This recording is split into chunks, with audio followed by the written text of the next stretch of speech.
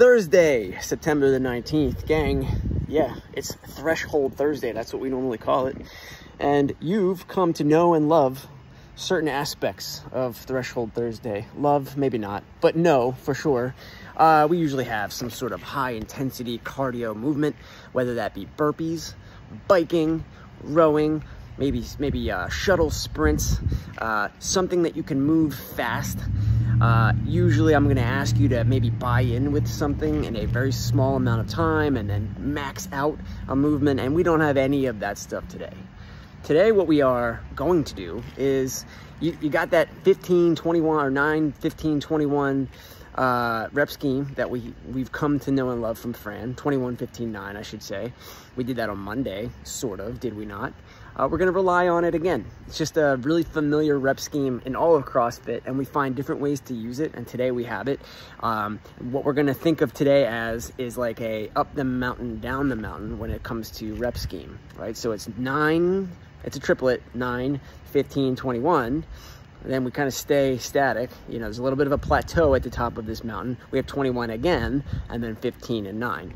So that's the way we've chosen to implement the rep scheme today. What are the movements of this triplet? They are, of course, you got to have something like the bike. And today we have bike calories for you. And then we have uh, two movements that I think we can sort of just blindly run through quickly, but, you know, with fitness. And they are ball slams and then V-ups, which some people and you know, maybe many people will modify down to either tuck-ups or sit-ups. So what are we looking for today? First off, context. A lot of times you see that built-in rest or that really go really fast and then dial it back with rest. Or, or go really fast and then do a max effort movement and then dial it back with rest. You don't have that today. We're going to expose a bigger audience to it tomorrow. So it's not going to be a common thing. But this week we found a workout that we thought it looked or sounded or felt better on a Friday.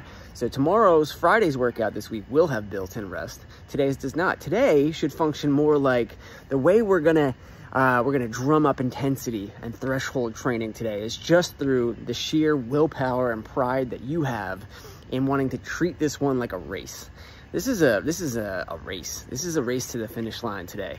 It is a for-time workout on a Thursday where hopefully what we've done here is include three movements that you can just sort of turn your mind off and go, right?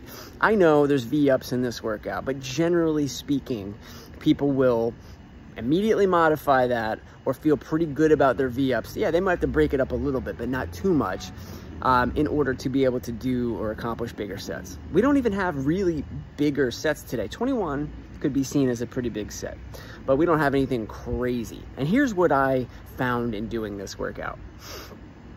Um, I am not normally someone who is very good at sprinting on the bike if I have other things to do. But if it's it's dependent on what those other things are. If I have other if I have other very highly intense movements uh, we'll consider the bike an intense movement like burpees or even weightlifting or my least favorite movement, weighted box step overs. If those are also in the workout, then you're not getting many RPMs out of me. Today, you spend enough time doing the V-ups and the the uh, ball snatch or the uh, the ball snatches, the the slam balls, that when you get back to the bike, you are you haven't been there long enough that you should feel recovered or refreshed and find yourself hopefully like me going at a cadence or RPMs that is much, not much higher, but higher than normal in a workout like this. Uh, maybe you in your mind have something to compare that to. I generally do. I was at about 65 to 68 RPMs the entire time today, whereas generally in a workout like this, I'm around 60. Another thing that is true of me, you may not like V-ups and you may think I'm being facetious when I say this, but I also am not very great at V-ups. I get my, my rhythm gets off a little bit. I get fatigued. I've not ever really been someone who, who could say that I have a, that core is my strong point. Um, but I was able to do big, I was able to do every set of V-ups unbroken today. And that is not generally the case when V-ups get programmed for me specifically. So it's the same idea as with the bike. We hope that we've given you enough to do between sets of V-ups and between sets of bike calories that when you get back to that thing, you know, there was no other interference for that particular movement pattern that you feel like you can go. right? If the V-ups are a core, specifically, you know, your abdominal muscles movement, the bike is not so much that, neither is the ball slam, right? And the bike is just kind of an all-out um, engine effort, whereas the slam ball is more of a hinge and overhead movement. Yeah, we had one of those yesterday as well, um, but it'll be lighter most likely today. Do the math in your head about what the total volume of this one is. In general, what I think is going to happen is the way that Threshold Thursday workouts usually go is that it might take us 30 minutes to get through the WOD, but most of that ends up being rest. Today, there's no rest, but in the aggregate, you will have spent probably more time exercising today than you typically do on a Thursday workout. That's how I found it. I, I actually think my time, I, I completely forget what my time was. I think it was 1452. I wrote it down somewhere. Um, I remember thinking to myself, ah, I'm almost at 15. I'm, let's see if I can get this done before 15. So I think it was, so I think we're going to see times anywhere between that and like 20, 22 minutes. We're not even going to cap it. We just want people to finish it.